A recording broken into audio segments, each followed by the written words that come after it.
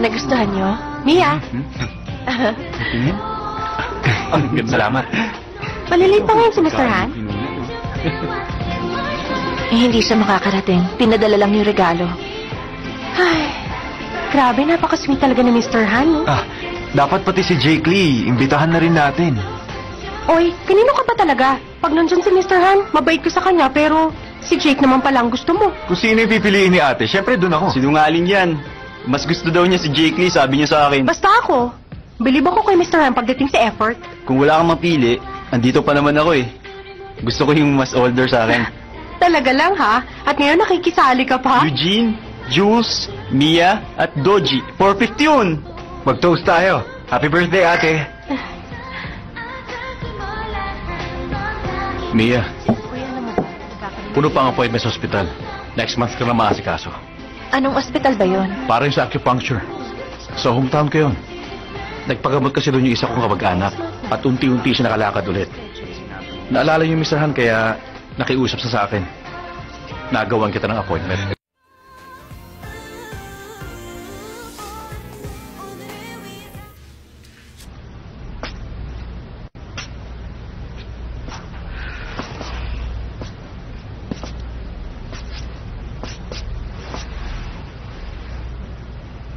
Is this how you do things in Korea?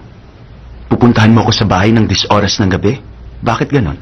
Gusto ko lang pong humingi ng tawad sa ginawa ko. Dahil sa pagkakamali ko, pati reputasyon ng kumpanya nasira ako. I'm sorry about that. Bigyan niyo po ako ng isa pang pagkakataon. Good night, Mr. Lee. Kung ganun, pwede bang si Chairman Jiang ang pakiusapan ko? Kapag nakuha ko ang approval niya, pwede bang ipagpatuloy natin ang project na to? Gawin mo if you can. Ang pinakaayaw namin ng dad ko, yung mga taong pabaya.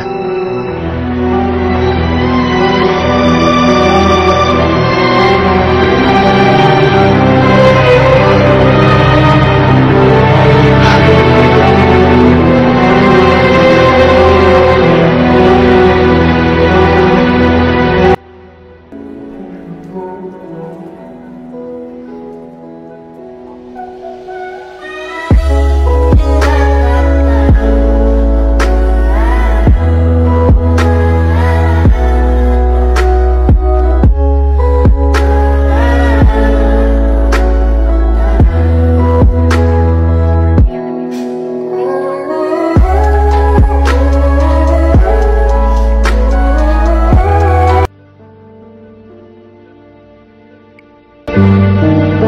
Mr. Han, pupunta kaming lahat ngayon sa suite para sa birthday ni Mia.